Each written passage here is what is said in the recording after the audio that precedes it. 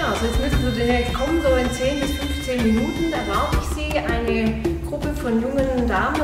Wir machen heute einen Junggesellen-Workshop, Tanzworkshop. Die Mädels wollen heute sich einfach mal äh, informieren und mal sehen oder auch mal ausprobieren, wie eine Weiterentwicklung des Bauchtanzes, nämlich den Hip-Iso-Style.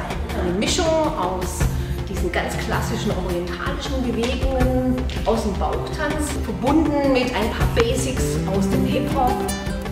Und das Ganze wird einfach dadurch noch etwas cooler und natürlich auch.